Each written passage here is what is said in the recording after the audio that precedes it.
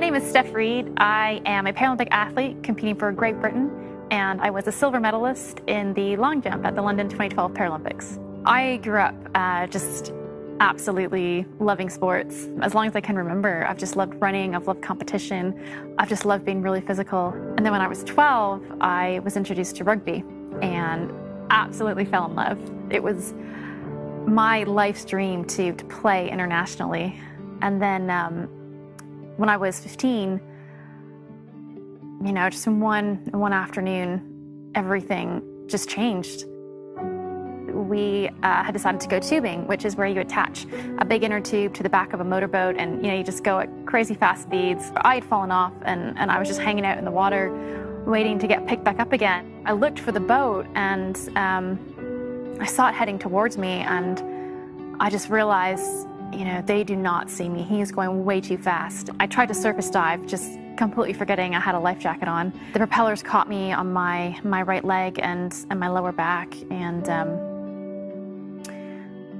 you know, it, was, it wasn't good. Um, I mean, I could see in everyone's face that, you know, there was just too much blood. I mean, I was terrified. I, I knew in my heart that if I had died at that moment, I, I wasn't going to heaven. And so they took me to um, a local clinic um, that couldn't do very much for me.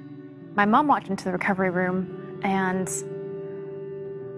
I just, I just, she was so sad. I just didn't understand. And she walked over to me and said, know, Stefanie, I'm so sorry to tell you this, but the doctors did everything they could to, to save your leg, but unfortunately they had to amputate. And I was absolutely devastated. The hardest thing I've ever had to do in my life is change my attitude in that moment. I can look at the situation, yes, it's crappy, but I can either um, accept it and make the best of it, or I can choose to be angry.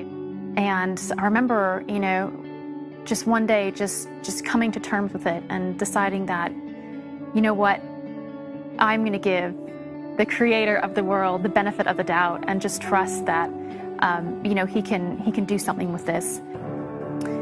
And i prayed for the first time just a really true and honest prayer. And, and i just remember being in that hospital room and it was just so strange to on the one hand have so much anger and frustration at the same time just to feel like actually feel in that room god's love and god's peace.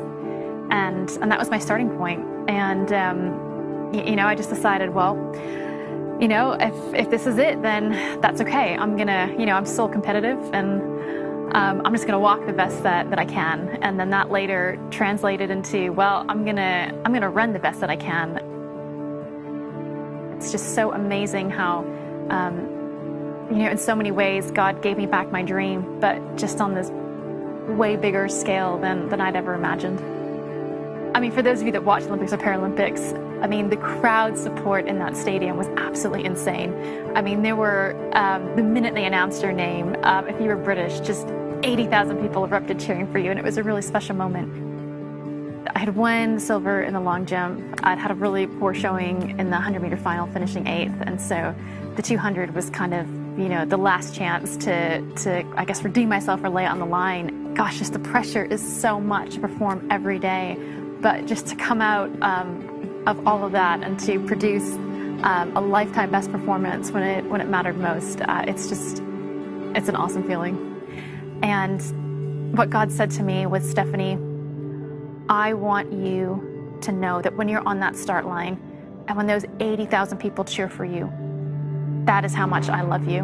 I'm not the same person I was um, before that accident. I mean, the things that I have learned because of it, um, you know, my relationship with God, I mean, it, it, literally changed me as a person. You know, I'm at a point now, I was, it wasn't always like this, but at a point now, I'm really comfortable with the leg.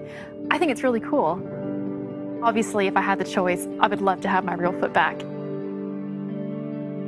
It's a great mystery as to, you know, why things happen to people or why God chooses, um, you know, for situations to unfold as they do. But um, I've just learned to trust God and, and no matter what, um, I know that He is good, and I've learned to be thankful for everything because I know that God can, can work miracles with any situation.